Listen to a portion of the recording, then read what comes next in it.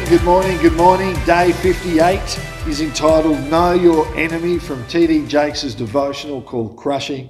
And we're reading from two scriptures today. The first is John 10:10. The thief comes only to steal and kill and destroy. I've come that they may have life and have it to the full. And we're also reading from James chapter 4 verse 7. And it reads, Submit yourselves then to God, resist the devil, and he will flee from you.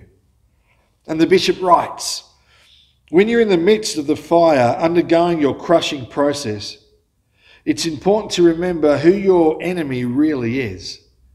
When you understand that the enemy of your soul will send obstacles your way to convince you that God has abandoned you and forgotten you in the crushing process, you can forego those voices and resist the enemy's words. You see, your crushing is a process used by God to develop you. Yet your enemy will try to convince you that this process is futile and that God has turned his back on you. Nothing could be further from the truth. I know the circumstances and events may seem to have no rhyme or reason, but they are being used by God. Your enemy knows this, but the devil is afraid of what will happen if you know this too and endure the crushing process. The devil knows the end result will be a refined masterpiece. Come on, preach it, preach it, preach it. One who has been tried in the fire and been purified. The devil knows your future looks much better than your crushing, and he's afraid of what will happen if you actually endure this process and become transformed. And that's why the devil works overtime to try to get us to think that God is not in the process or that God has stopped working on our behalf. Don't give in to Satan's temptations.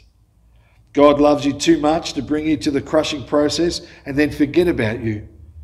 God wants what is best for you and what is meaningful and purposeful for your life. After all, Jesus came to give you an abundant life, but Satan is trying to steal it.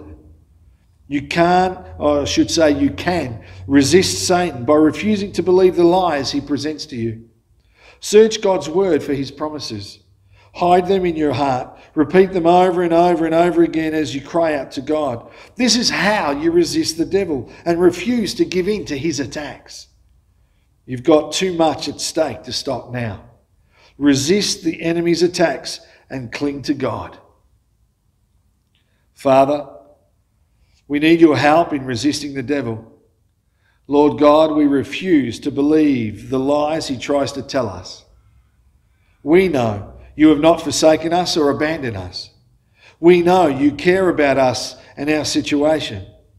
Help us to hold out as you transform us for your purpose. In Jesus' name. And everybody listening said,